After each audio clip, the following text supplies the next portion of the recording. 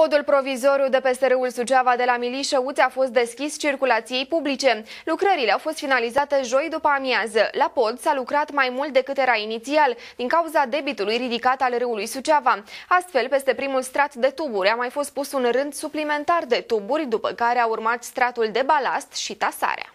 Podul trebuia să fie făcut cu 12 tuburi, însă până la urmă a fost nevoie de 37 de tuburi. La capetele acestuia s-au pus și semafoare pentru a se circula în regim alternativ. Asta pentru că porțiunea de trecere are o lățime de 5 metri pentru un singur vehicul. Precizăm, podul este amenajat pentru vehicule de până în 3,5 tone, în special pentru traficul local din Milișăuți.